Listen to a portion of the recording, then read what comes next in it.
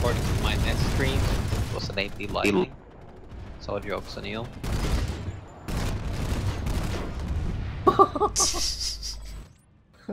Day wreck.